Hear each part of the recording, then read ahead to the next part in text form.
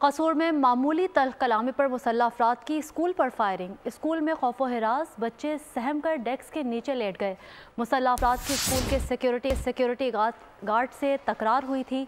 Firing से बच्चे मौजाना तौर पर महफूज रहे। मुलजमान ने दरवाज़ा तोड़ डाला। छः से सात मुसल्ह अफराद की स्कूल पर फायरिंग की फुटेज बोल न्यूज़ को मौसू हो गई है। अपडेट कर रहे हैं आपको कसूर से, जहाँ मामूली तल कलामी पर मुसल्ह अफराद ने स्कूल पर फायरिंग कर दी। स्कूल में खौफ हरास फैल गया।